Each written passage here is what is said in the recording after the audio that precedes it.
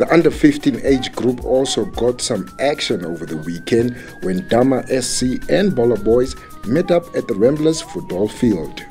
The boys are coming back from a mid-term break. They looked very eager to take to the field. A very subtle game which saw both teams fighting for every ball and it seemed like the finishing touches lacked in the end. The game ended 1 all.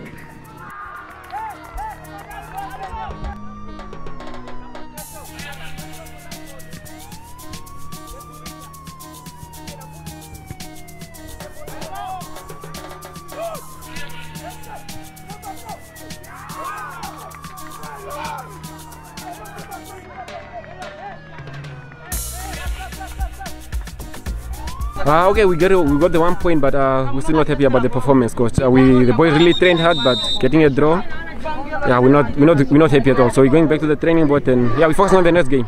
Now, in terms of training, we, we, the boys train. Like we train on the passing, on how we come to the game, but I guess the other team also train better. Nah, definitely, because uh, in the in the with the boys, I always tell them every we try and win every game. So having having won having drawn this game is not our, one of our best. So come in, in, terms of the whole the whole season, we wanna win every game.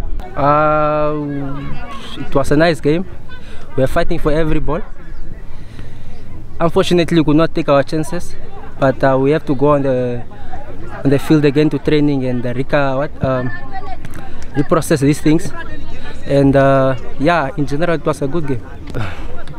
we did all we can. Uh, we cannot change those decisions. All I can say is that the boys played with all they had, and now it's just uh, to go to training and uh, work on these things.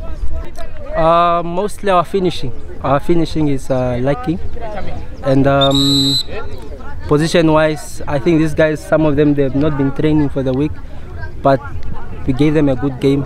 I think position-wise and uh, attacking-wise, we need to. Ah, no, we wanted to start with a win, but unfortunately we got a draw. It's what we got, and uh, I think we just have to prepare for the next game. This is done. Yeah.